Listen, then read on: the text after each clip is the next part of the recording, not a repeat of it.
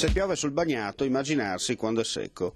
Al di là delle battute, l'acquazzone che ha paralizzato 24 ore fa il Friuli Isontino porta alla ribalta la reale situazione in cui si trovano i fossati e canali scolmatori. Gli stessi, grazie alla scarsa, se non zero, manutenzione, la crescita di erbacce e il deposito di materiale di riporto, vanno al collasso immediato quando Giove Pluvio decide di riversare enormi quantitativi d'acqua in pochi minuti.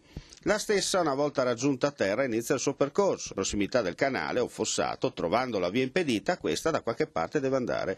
In pochi istanti le sedi stradali e campi attigui si trasformano in piste adatte a motoscafi, barche e in certi casi da classico ambiente veneziano, tipico da giro in gondola.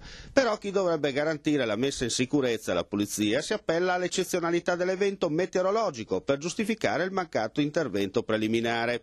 Se poi ci si mettono gli ambientalisti con le loro teorie naturali, allora capisci il perché del problema.